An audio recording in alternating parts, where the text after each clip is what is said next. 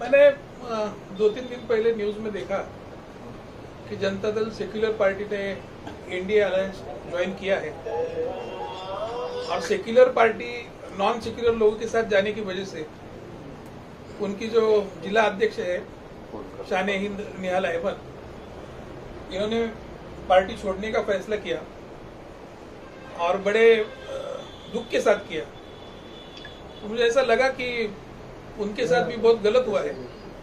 क्योंकि निहाल साहब की जो जनता दल के लिए त्याग था या समर्पण था, उनका जो कार्य था, वो तहा उम्र जनता दल के साथ रहे और सेक्युलर सोच के साथ उन्होंने सारे महाराष्ट्र में जनता दल को खड़ा किया। आज उनकी लड़की को पार्टी छोड़ने की नौबत, पार्टी के गलत फैसले की वजह से आई। और महाराष्ट्र में जहाँ भी कहीं अन्याय होता है।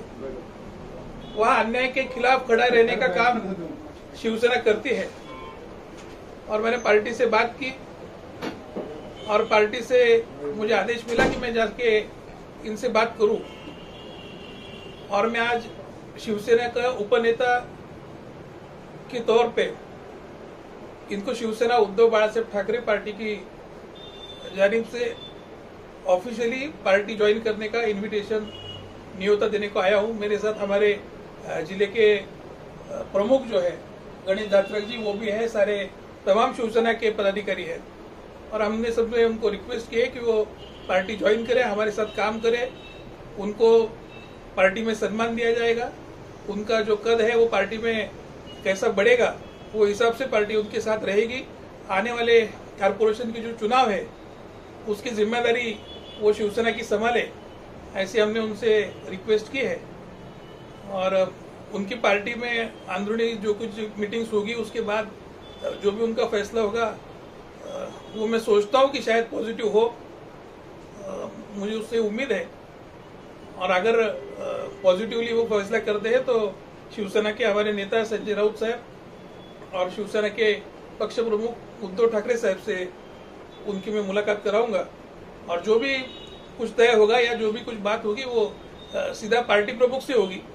मैंने सिर्फ़ काम न्योता देने का था, इसलिए मैंने वो सिर्फ़ वो दिया है। आज कुछ बात मेरी तरफ़ से नहीं हुई है। अगर उनको बात करनी होगी तो उद्धव साहब पार्टी में खुद बात करते हैं, क्योंकि शिवसेना में सिर्फ़ आदेश चलता है यहाँ पे हम लोगों को कोई फैसला करने का हक नहीं है।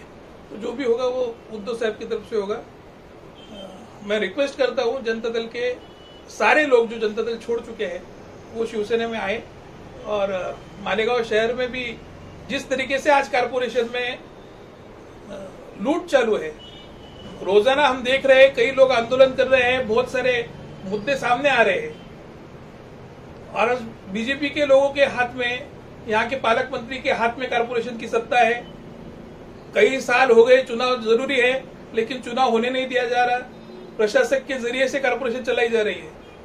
और इसके खिलाफ हमको लड़ना है। हमको शहर में अगर काम चाहिए, हमको शहर में तरक्की चाहिए। तो हमको कारपोरेशन के इस भ्रष्टाचार को रोकना होगा। और ये रोकने में शिवसेना तो है, लेकिन जनता दल के ज़रिए से ये लोग लड़ रहे थे। अगर हम साथ में मिलकर अगर लड़ेंगे तो अच्छी ताकत से लड़ेंगे और आने वाले चुनाव में शिवसेना का महापौर मालेगांव में हो, ये कोशिश मेरी है। और मुझे उम्मीद है कि हम उसमें कामयाब होंगे। 2023 और 24 जो है